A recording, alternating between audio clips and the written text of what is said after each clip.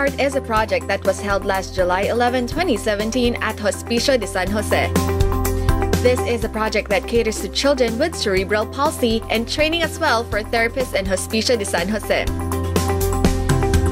Our project is what we call Golden Heart. Its mission is to train and to care cerebral palsy patients. And we also brought in doctors from PGH, PCMC. We have Dr. Alexis Reyes. We also have Pablo Belen, senior therapist, which train caregivers, doctors, cerebral palsy patients in Hospicio de San Jose.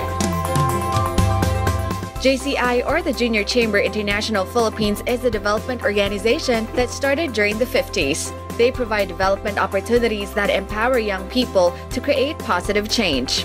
In this project, JCI Manila conducted trainings for the therapists here in Hospicio de San Jose to better cater to children with cerebral palsy.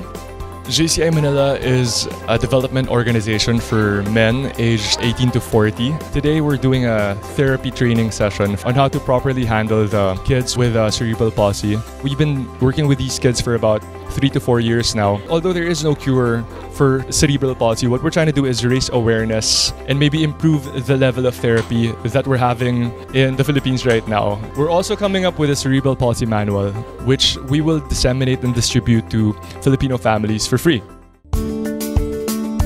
Medical missions, dental mission, and eye mission are conducted here yearly for children with cerebral palsy and moreover an avenue to raise awareness to others about cerebral palsy.